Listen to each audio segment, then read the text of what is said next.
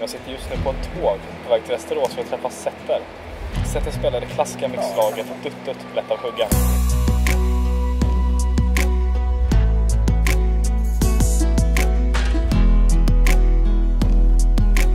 Jag har ingen sån där drömhistoria att du vet, men, aspiring football star och sen så gör man det lilla knät du vet, man börjar spela sig istället. Utan jag vet inte.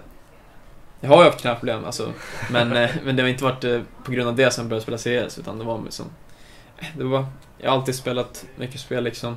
Så bara började med CS och bara, jag har alltid haft en, jag har alltid varit bra på dataspel. Jag har alltid haft ett driv att bli bättre liksom. Så det har bara kommit med åren typ. Sen har man nått en punkt där man känner att, ja, jag kanske har potential.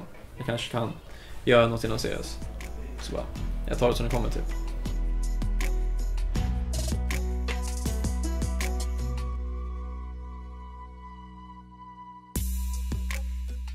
10 sen jag spelade Minecraft på så här Macbooken från skolan och sånt där. Sen började jag med LOL när jag eh, på den Macen också. Då skaffade jag en eh, stationär dator. Började spela LOL, spelade några år. Sen så gick jag över till CS typ. Min kompis eh, köpte hela Counter-Strike Complete till mig. Det var typ 2014 eller sådär. Sen så började vi spela Source typ. Eh, men jag hade bara typ så här 20 timmar i det. Och sen så bara halvår senare och sådär så började jag spela CSGO också lite. Prova på liksom. Jag har aldrig spelat något annat CS förut. Det är vi tre, jag, Palmen och eh, Blom. Vi har spelat, vi har mixat typ sådär. Eh, spelat någon säsong av main innan. Eh, sen, eh, ja, men sen så, ja, det sket sig lite. Vi tog en huggan, sen så eh, försvann Sitter, Sen efter vi tog in PBB, PBD. Ehm, ja, ja, det, det blev liksom mer seriöst allt eftersom. Så, ja.